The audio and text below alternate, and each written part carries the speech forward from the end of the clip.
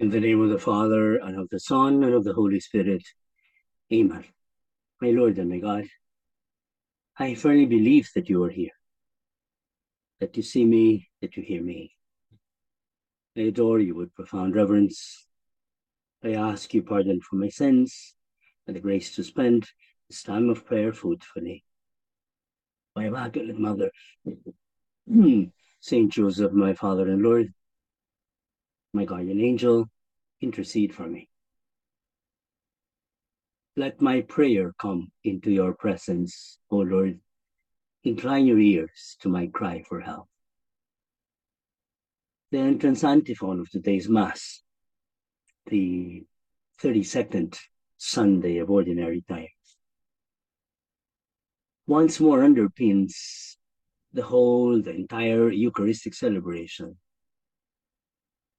and it's a cry for help of a soul who feels helpless without the Lord, but on the other hand is ready, prompt to do anything to fulfill the will of God. As the collect of the Mass expresses, Almighty and merciful God graciously keep from us all adversity, so that unhindered in mind and body alike, we may pursue in freedom of heart the things that are yours. Oh, what a far cry from uh, the, in Spanish it's called libertinaje, license, of the person who wants to be free to do what he damn pleases. A prayerful person a son of God, rather, a child of God, rather, wants the freedom in order to do the good. What he understands is the will of God. So, therefore, freedom from ignorance, freedom from the pull of his passions, freedom from the constraints of the environment, freedom from the sores of hatred and from the devil, in order to pursue the will of God. That's the kind of freedom that we want. and in this prayer too, of the collect, of the Mass, is the supernatural logic of faith that manifests itself in hope. My brothers and sisters, time and time again, in these meditations, this idea has cropped up because it's at the very core of the spirituality of Opus Dei, the spirituality of St. Josemaria, founded on a keen sense of divine filiation that we're children of God is the conviction that one is doing God's will, and such leads to freedom. A freedom of the spirit that is shown in a life that is fully lived without fear. That's the real fear of the Lord. It's not the fear of somebody who's going to punish. God does not punish his children. What happens is at times he allows the natural, the logical consequences of their wrong actions to attain their, their natural end. If you overeat, you'll get overweight. If you don't watch out your diet, you may have issues with your blood chemistry. That's the physiological uh, consequence of that. But if you pray hard enough, especially if I don't know, there's really a reason, understandable reason why you break your diet and things like those, then maybe God will intervene. He can in order to tweak the natural processes. Oh my Lord, how many times you do that for all of us? Tweaking the natural processes to optimize the consequences of our own limited actions This thought is shown in a total abandonment in divine providence that brooks no concession to either temerity or hesitation. And this is the spiritual sense of the first reading of the Mass, taken from the second book of Maccabees. Seven brothers, we read, with their mother, were arrested and tortured with whips and scourges by the king to force them to eat pork in violation of God's law. This is the, the Syrian king. Assyrian rather. One of the brothers is speaking for the other said, What do you expect to achieve by questioning us? Because they were uh, tortured, they were being uh, subjected to severe interrogation. We're ready to die, he says, rather than transgress the laws of our ancestors, because they were being tortured in exchange for which, if they would just capitulate and uh, worship the idols, and they said, no, we were not going to transgress. Not so much to, I'm sorry, to uh, worship the idols, but rather to transgress their own laws, the laws of the temple. Uh, they were to eat pork and things like that. The Navarre Bible, in its introduction to precisely the second book of Maccabees, there are four books, tells us that in contrast to the first book, which is more historical in content, it's a narrative of the events of that period of, of world history, actually, because those things really happened. About this, uh, the domination over Palestine of a series of Syrian kings, the Syrian Empire, in the final centuries prior to the coming of Christ. That's the first book. The importance of the second book of Maccabees lies more in its spiritual sense. In the light of the New Testament, we read, we can see that second Maccabees marks an important step forward in the process of revelation. And it is getting closer to teachings that will appear in the New Testament, which corroborates the idea of the second book of Maccabees, but transcends and refines them. Specifically, book two of Maccabees teaches us the importance of fidelity to the law of God, preparing the ground for the moral teachings of our Lord Jesus Christ, and the respect for the temple of Jerusalem. The law of God, the liturgy. We see this in the steadfastness of the seven brothers and their mother, beginning with the eldest. And we continue our reading. At the point of death, he said, You accursed fiend, you're depriving us of this present life, but the King of the world will raise us up to live again forever. It is for his loss that we are dying. After him, the third suffered their cruel sport. He put out his tongue at once because they were going to cut it off, and held out his hands because they also cut those off. As he spoke these noble words, it was from heaven that I received these, his tongue and his hands, his members, therefore, and for the sake of his loss, I disdain them. In other words, he was ready to part with them. From him, I hope to receive them again in the resurrection with them. Even the king and his attendants marveled at the young man's courage because he regarded his sufferings as nothing. Now we segue to the spiritual sense. The inviolability of the law stands out clearly as the moral lesson in this passage. This is of paramount importance in our times. When moral relativism Mm-hmm. and ethical permissiveness seems to be the norm, if one can even speak of norms anymore.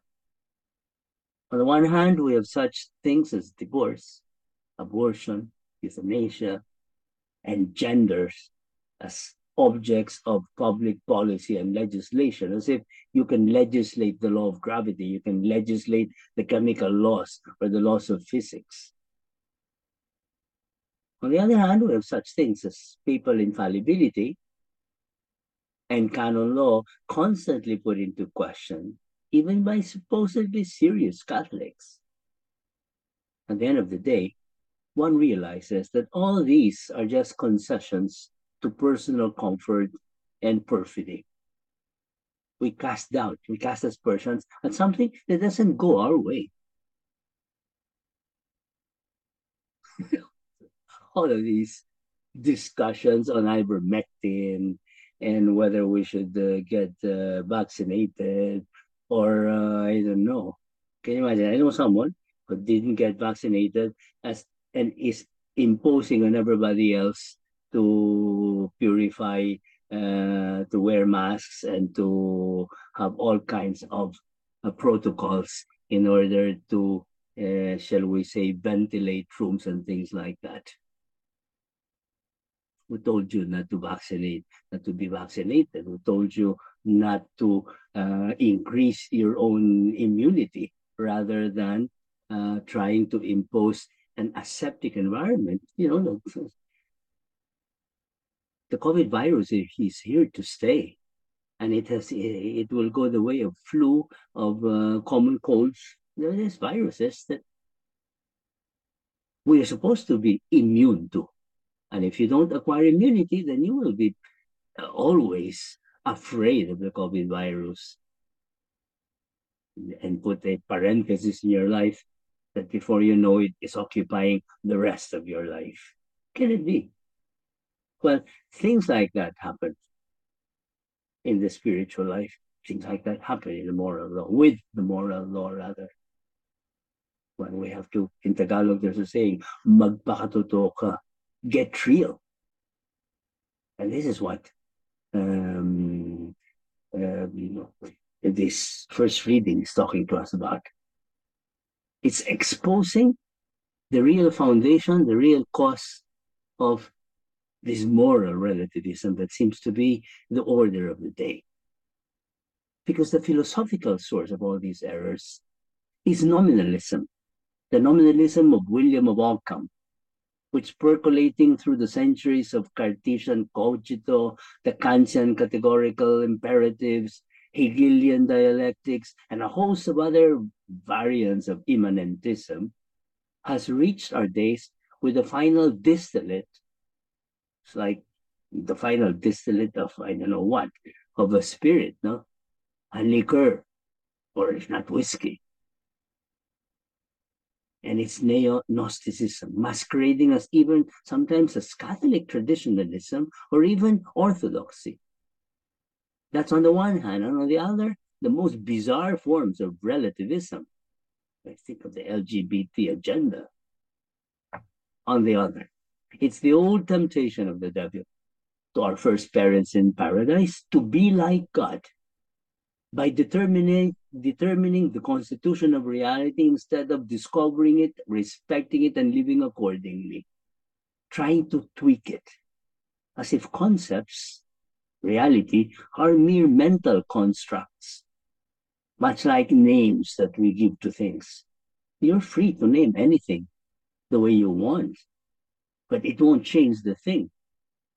Nominalism, precisely, is that mindset that you can change the thing by changing your understanding of it. And you see how, how ridiculous that position is. It's like that old joke, the difference between a neurotic and a psychotic. The neurotic builds castles in the air, but for as long as he knows that they're just castles in the air and pipe dreams, there's nothing, you know, maybe a little bit unrealistic, impractical, but the the schizophrenic, the psychotic, doesn't just build castles in there. He he he moves into them and lives in them. That's what happens with nominalism in its new forms. What is needed is for the disciples of Christ to engage this secularized and secularizing mindset without fear.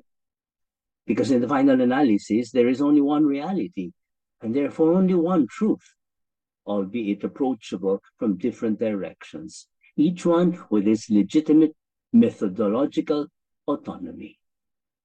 The physical sciences have their way. Philosophy has its way.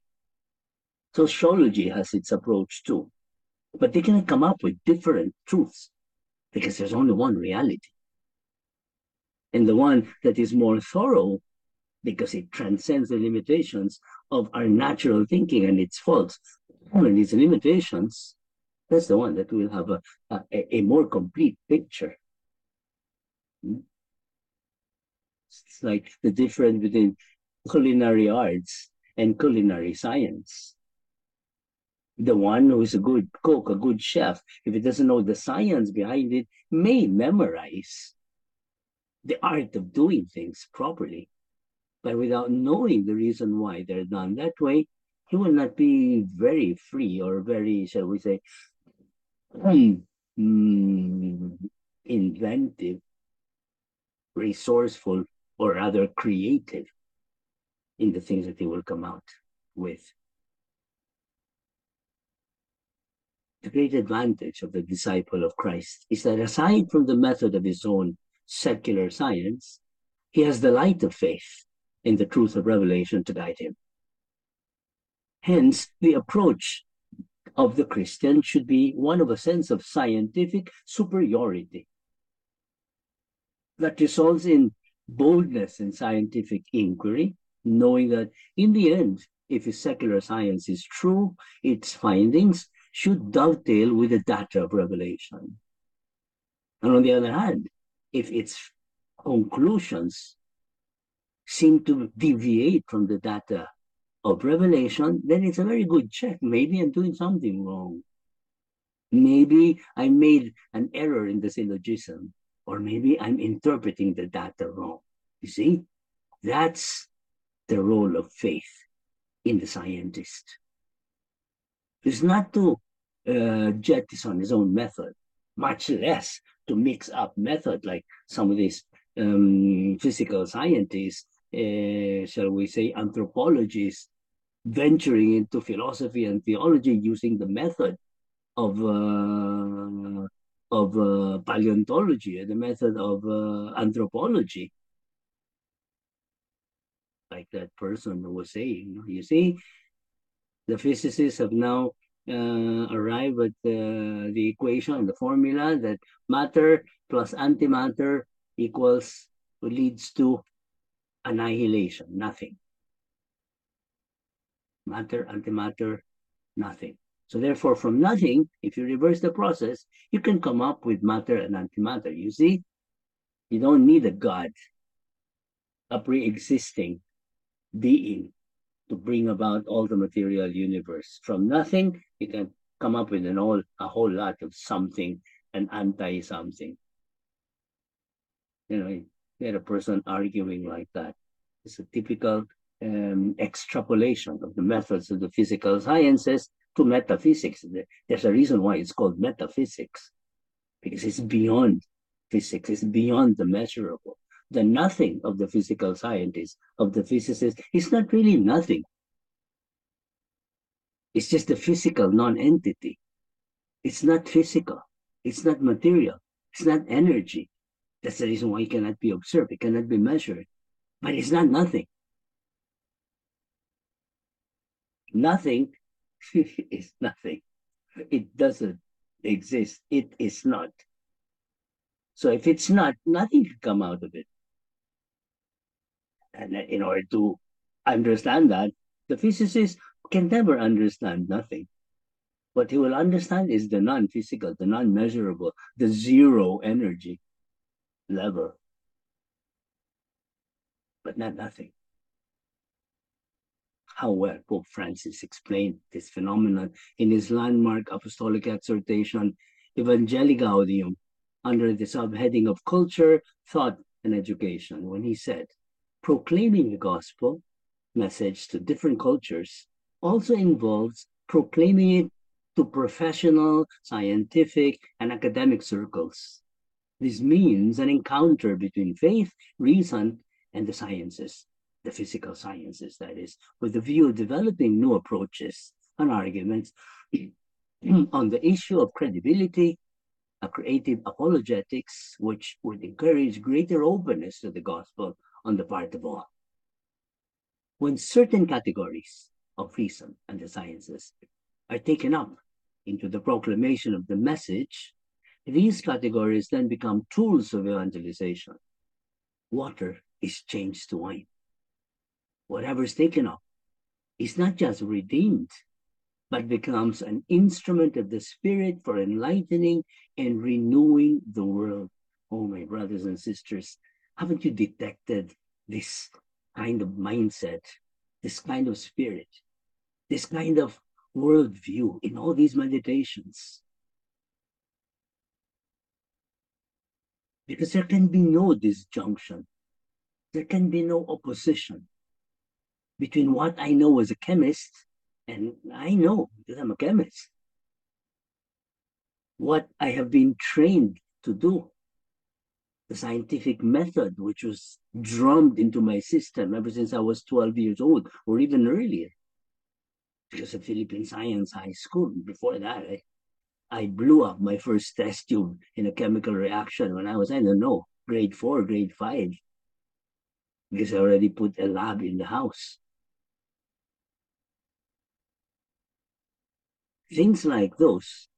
But in my mind, there is no disagreement whatsoever with what I know from Revelation, what I have understood with metaphysics and theology, and even what I understand with, with law, and all the history and the sociology and philosophy in between, and what my chemistry tells me, what my physics tells me, or what my mineralogy and my geology tells me.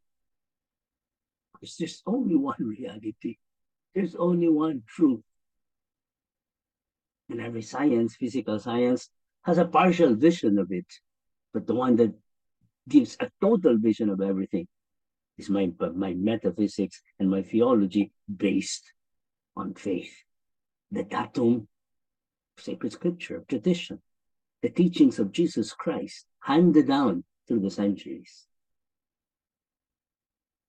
Unfortunately, powerful lobby groups have been taking control of the narrative in this matter of culture, thought, and education. Again, taking my favorite peeve, the case of the LGBT plus agenda as an example, it's quite obvious that in this matter, real intellectual discussion, whether in the legislature, in the mass media, has become almost impossible without the process being derailed by emotional tirades of the LGBT plus lobbyists. The voice of reason is often either drowned out by the shrieks of the LGBT plus lobbyists or activists, or silenced by parliamentary time and formal constraints. Hmm? Just last week, I've been invited again by a group to help them craft a position paper because the discussion is going on in the Senate and in Congress for the SOGI bill. But I know very well what happens to those position papers. And I don't mind saying it out loud and let them sue me if they if it's not true. They don't even read through them. Uh, all these other all these people, they're given such a a, a short time to, to, to say their piece. And so the real arguments, which is what the way these things should be studied, because these, these are problems of the intellect, not emotion, not of pressure groups, not of political expediency or even political correctness. This is what happens many times. How many times well reasoned and fact-based position papers on these matters are glossed over at the committee hearings because of powerful lobby groups. However, if lack of intellectual depth may be expected in the mass media or even at the committee level of the legislative process, it should be downright unacceptable in the academe, where scientific rigor should be the norm. That's the reason why it's so sad to see the same lack of respect for the truth in the discussion of such matters at the university level, such that quite often truth is sacrificed at the altar of political correctness masquerading as academic freedom. Sadder still is the observation that Catholic universities seem to be at the forefront of systematic LGBT thought, aside from dissent from Catholic doctrine on marriage and the sacredness of life. Where is the academic center of LGBT poetry, LGBT literature, and things like that? And you will see that they're in some Catholic university somewhere, and they call it academic freedom. if somebody were to teach quackery in medicine, or uh, going back to uh, the Galenica laboratories of the Herbolario, and pretend to put it at the university level, is going to be uh, drummed out of campus because of preaching an untruth, going back in, in, in history.